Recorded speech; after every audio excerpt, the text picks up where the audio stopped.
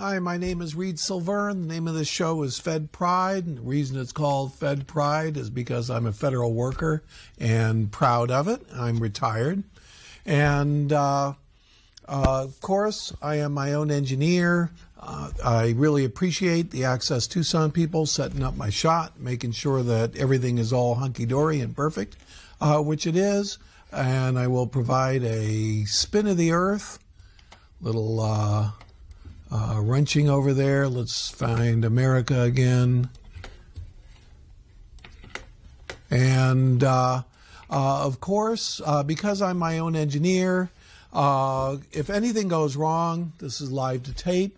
Uh, it will go wrong in front of you, just as I changed and put on my titles and took off my titles and spun the earth in an awkward way. It proves that this is a show that uh, while the Access people are tremendously professional, I myself am not, and uh, this reflects it. So, uh, what is the big deal going on? First of all, for me today, it's the 10th of December. And uh, in Washington, the big story is that there's a lame duck Congress going on.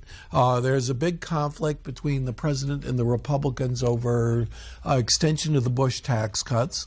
Uh, the Republicans are also doing their best, as they uh, said, uh, especially Boehner, the new, or he will be the new after January, Speaker of the House uh, that their number one issue, their number one aim is to get rid of uh, Obama and to do their best to make sure that Obama does not govern well. And they seem to be coming off to a very, very good start. So, uh, what is the issue? What's been going on? Uh, a little bit of context. Of course, this show is going to be on for three weeks. And I'm not coming back to do another show until after uh, New Year's. So uh, the bottom line of the whole thing is that uh, whatever I talk about is going to be incredibly obsolete. And I solve this problem by making the show as dry and boring uh, with uh, dry topics whenever possible that are true over a period of weeks and weeks and weeks. So uh, the exciting, amazing, shocking things that are going on in this particular moment uh, will be old and tired and uh, the boring things that I talk about will still be fresh. So uh, it's a uh, bad philosophy, but it's the philosophy that I use in this show. So uh, the big conflict is on taxes and the budget. Now, uh, we just had an election. The Republicans crushed the Democrats. Uh, they gained 60 seats in the House. Uh, they gained six seats in the Senate. They did not capture the Senate, but they did capture the House. And Obama and the Democrats received what the news calls a shellacking, which I guess is kind of a neat little word. So, as a result of the shellacking, what was this election all about? Well, lots and lots of Tea Party activists, whatever the heck they are, uh, were elected. A few were not. And uh, the fact that the ones that weren't elected, that seemed like a lock, uh, weren't elected, it was a difference between taking the Senate and not taking the Senate. So uh, uh, Miller up in Alaska, uh, who won the Republican nomination, seemed like a lock to get in.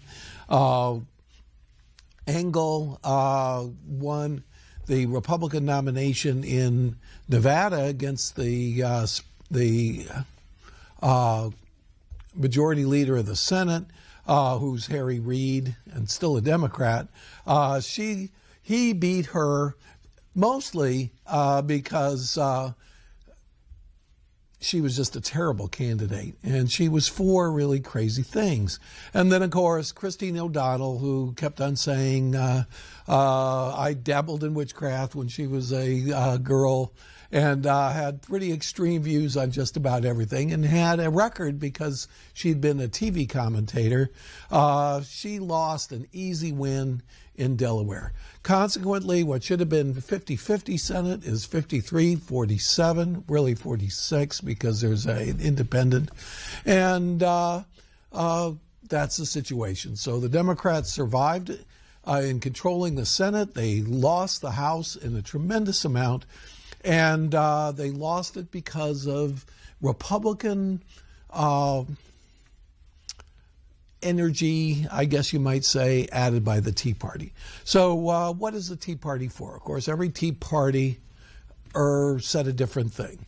A lot of it is the old Republican right, which is uh, conservatism, uh, basically what we call social conservatism, which is uh, anti abortion and things like that, uh, Christian uh, evangelicals. but there was a uh, another wing, and that's partially libertarian, like Rand Paul, and also some just come wacky notions uh, that the Second Amendment was meant to arm the populace against the government, that government is too big, it's too powerful, and uh, mostly that uh, while taxes are high, deficits are bad. So uh, it's kind of a mixed message. Now, which is it? Are taxes too high or are deficits too big? Uh, well, one can say, well, we can cut everything and then everything will be fine.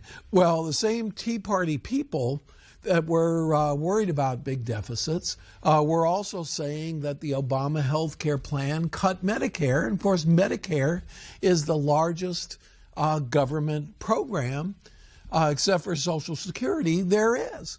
And also, uh, calls to privatize Social Security were pretty much uh, rejected by most of the people, even though they were supported by some of the Tea Party activist candidates like Rand Paul. So, uh, so what is the result? The result of the election, of course, is a transfer of the control of the House of Representatives from Democrats to Republicans, and uh, that's inevitable. And also, the Republicans were able to raise a tremendous amount of money. A lot of the finance industry, uh, $50 million were put in there by the Chamber of Commerce, which seems to be, in this case, representing foreign multinationals. Uh, and other businesses, but they seem most concerned about a tax on uh, uh, tax uh, breaks for foreign uh, multinationals and in trying to get the tax rates lower. Uh, the finances industry was in there, uh, putting in millions and millions. And most of all, and I think the cleverest people in, involved in the campaign uh, was Karl Rove and his group, which ran uh, what they called uh, uh, Crossroads for America and a couple other big organizations that created kind of an alternative uh, Republican source of funding. And uh, because the uh, Supreme Court, uh, the Roberts Court, basically said corporations and organizations are citizens and need the rights of citizens. So uh, they threw out all the uh, previous laws, McCain, Feingold, and everything else, controlling corporate contributions to uh, campaigns and not to campaigns, but uh, outside of campaigns. So basically, any organization could create itself with a fine name, uh, Americans for Motherhood and Apple Pie, and put as much money as they want and direct it directly against candidates. And of course, uh, here in Arizona, especially southern Arizona, we saw uh, uh, Chamber of Commerce ads against Giffords and uh, Grijalva. We saw uh, a whole bunch of ads from organizations nobody's ever heard of, uh, some of which were kind of ridiculous and hokey, and some of which were quite effective, although those two particular candidates didn't uh, uh, weren't defeated, but many many other Democrats were, and uh, Karl Rove was very disappointed because of the uh, the Tea Party powerful, and uh, uh, how many uh, positions and how many uh, uh, Republican primaries were won by Tea Party activists who were not going to win. So uh, it didn't seem to affect the results in the House, but it prevented him from uh, controlling and from creating a uh, a change of power in the Senate. And uh, I think that that was part of the strategy. So I think that uh, uh, Rove and his guys are disappointed, and they seem to be uh, quite chagrined with the Tea Partiers. Now, uh, there was another uh, very important thing, I think, that was involved in this case, and this is the power of Sarah Palin. Uh, the previous vice presidential candidate and darling of the right, and uh, of the Tea Party, if there is such a thing, although she supported McCain, who the Tea Party tried to get rid of and replace with Hayworth. So uh, uh, Sarah Palin supported a lot of these uh, Tea Party activists, so called, uh, in these uh, races. And uh, she lost a couple big ones that uh, she supported O'Donnell, she supported Angle in uh, Nevada, and she supported Miller and uh, Miller ended up losing to Murkowski, who was already there. She is still a Republican uh, up in Alaska, uh, but she's a mainline Republican, and she won in a write in vote that apparently Miller is, is contesting even to this minute. So, uh, uh, very, very interesting results, all in all. And uh, some important uh, Democrats were defeated in the Senate, too. Uh, Feingold, a uh, McCain Feingold campaign contribution controls. a lot of big Democrats lost their seats. So now we're what's what's happening is there is a lame duck Congress, and in the lame duck Congress, uh, the Democrats are trying to push as much as their agenda as they can during the very, very short period that they still are going to control both houses. So, uh, uh, and the other thing that's looming, and that is that the Bush era tax cuts expire by themselves. In order to get them passed in 2001, uh, the Republicans had to put a sunset on the uh, tax bill with the hope that over the period that they thought they would have permanent control of uh, the House and Senate, uh, that they would make these permanent. Well, they never did. Uh, the Democrats took over the uh, Congress in 2006, and uh, the Republicans did not extend these tax cuts permanently, which they had intended to do. So, what are the results? Well, the results are that if uh, these tax cuts expire, uh, taxes will go up for the wealthy and for the middle class. So, uh, uh, what are these uh, tax uh, rates? And I got them over here somewhere, and maybe not. Uh, basically, what we have is now 10, 15, 25, I think. it goes up, and the, the tippy top tax rate is uh, now 28%. And I think that there might be a 33 out there. So, oh, I them. Uh, no, these are not them either. Oh, here they are. Okay. So, uh, uh, right now, uh, they have a bunch of different tax uh, uh, rates. That start as low as 10%. Of course, the the very very poor pay no taxes, or everybody else pays no taxes up to a certain rate. So now it's 10, 15, 25, 28, 33, and 35, 35 being the max. Now, uh, if they expired, uh, there were the 10 and the 15% people would go into a 15% tax break. The 25, 28, 33, and 35 would go into a 28% tax break. And then above 70,000 would be 31%, and above 141,000 well, no, above uh, uh, seven, the 28% would be above uh, 70,000, uh, from 31% from uh, to 215,000, and then 39.6% uh, it would go to everybody above uh, $385,000. So what does this mean? That means if you get a million dollars, uh, the last 615,000 would be taxed at 39.6 instead of 35%. And of course, they would average out to 26% of the total because that's the alternate minimum tax, uh, the way that's set up. So, what's the bottom line? The bottom line is that people who make over uh, $385,000 would have a higher tax rate and uh, a much higher tax rate. The total income of those people would be about an extra $70 billion a year. The other thing that would happen is corporate tax rates would go up and uh, certain deductions would disappear. So uh, uh, I've done an analysis over here, and uh, it's just uh, actually shocking how the tax receipts have collapsed. Now, I've been looking in to why we have these incredible deficits. And uh, you might say, well, it's obvious. You know, we obviously don't take in what we what we spend, and that's true.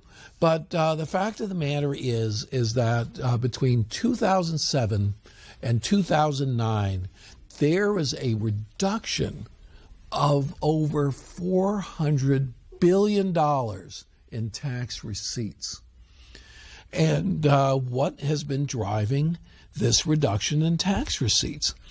And uh, what I've done over here is I found uh, Wikipedia that obviously is based on the the Bush uh, projection of, of uh, the 2009 uh, budget and uh, outlays and receipts and what actually happened. And, and it's really pretty amazing. Uh, basically, uh, in 2008, looking toward 2009, uh, Bush thought that uh, we would receive 1.2 trillion dollars in, in individual income tax. We only got 915 and dropping. Uh, Social Security was pretty close, within 50 billion.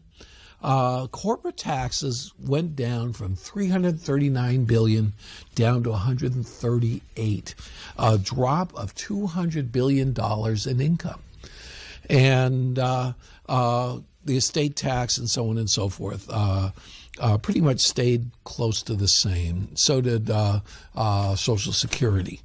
So uh, the result was a $400 billion reduction in tax receipts combined with the stimulus plan that uh, increased uh, costs by four or 500 billion.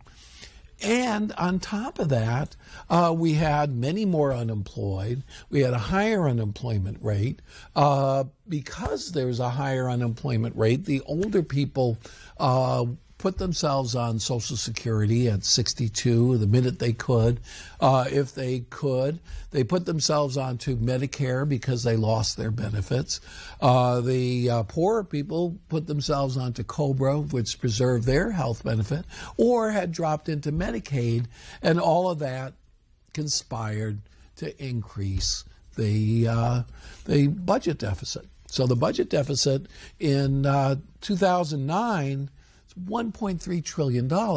Now, the original estimate once the uh, financial collapse happened was 1.8 trillion dollars it improved 500 trillion 500 billion dollars which sounds like a lot uh, because the banks paid off their uh, their uh, bailouts uh, to the tune of $500 billion. The bailouts are almost paid off. There'll be another one or 200 billion. Now, I personally thought that in, by 2010, because the banks were paying off their, uh, their bailouts, and uh, I thought that things would improve a little bit, uh, that the deficit would go down. But I am sorely wrong.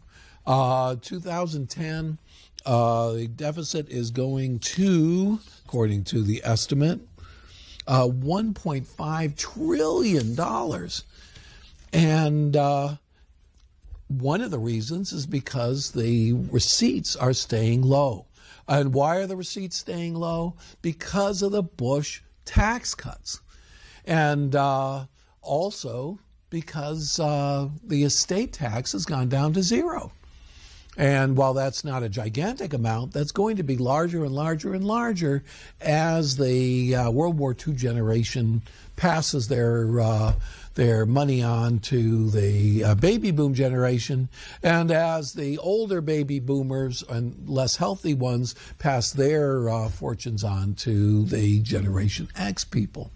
So uh, what's going to happen. So Obama uh, comes together, and instead of saying, well, you know, if these tax cuts expire, uh, the deficit, which is a terrible problem and which was identified by the American people as a terrible problem, uh, would improve by one third.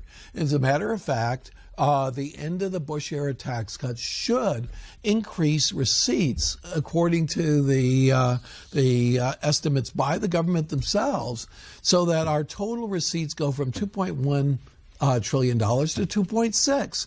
Uh, not nearly what we're spending, but a great improvement. And uh, now uh, Obama came together and said, Oh my God, my constituency, my Democratic uh, working class and uh, middle class people are going to pay more taxes, at least the ones that are working. Uh, well, that's true. Uh, so he wanted only the wealthy to have their taxes increased. Well, that would be fine too, but that's still not enough. And uh, uh, as a result, he made a deal with the Republicans, basically, in a nutshell, uh, to completely cave in and to extend the Bush tax cuts in total for two years. Uh, so that's two years that we're not going to recover the four to five hundred billion dollars of tax receipts that would cut the deficit by one third. So uh, do we just not care about the deficit? And on top of that, he extended unemployment and he reduced the payroll tax. Well, the one thing that's been paying its way uh, for the American people in order to support Social Security has been the payroll tax. So uh, he's cutting the payroll tax, which is 6.2% by the individuals, 6.2% by the uh, companies, but who knows what the difference is. Uh, total of 12.4. He's cutting that to 4.2 for the individuals and and leave the uh, companies at 6.2. Well, that's not really a tax as far as the companies are concerned. Uh, basically, they're paying 12.8% more uh, than that person is taken home, uh, no matter whether it shows up on the uh, W 2 as being the employee's tax or it shows up on the uh, uh corporate uh, books as being the co- company's tax. So it's really 12.4 either way. It's not 6.2 and 6.2. So the bottom line is that he's cutting the payroll tax on top of everything and uh, putting the uh, Social Security people who are currently uh, pretty much even Steven and, and creating deficit uh, to support Social Security as well. So, uh, my opinion, it doesn't make any sense at all. So uh, we have a situation where we're increasing uh, costs, we're increasing expenditures, and we're decreasing taxes. So uh, uh does this mean that uh, we're just going to let the Chinese foot the bill? Or that we're so uh, confident because we are the reserve currency that we can just print our way out of every single problem? the irony is, Europe is having a series of crises in the euro uh, just because small little countries are running a deficit. And of course, we're running an even worse deficit, and we have a chance to make it better, and we're making it worse. And uh, the irony about the whole thing is the Republicans and the Democrats. No matter what they say otherwise, especially hypocritical, I feel, on the Republican side, especially since they're supposedly Tea Partiers, uh, everybody is conspiring to increase the deficit and put everybody into debt. The Republicans want wealthy people to pay less taxes, but even more so, there's been a shocking decrease in the receipts from corporate tax. Corporate tax once uh, uh, received, and this is only six or seven years ago, $300 billion. Now uh, the corporations are only paying uh, $130 billion and dropping.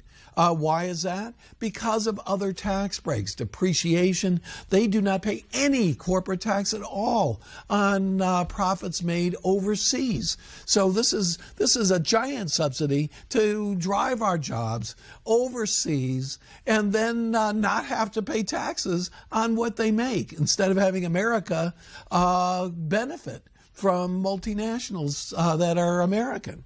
Uh, my name is Reid Silvern. The name of the show is Fed Pride. reason it's called Fed Pride is I'm a federal worker, retired. Thank you.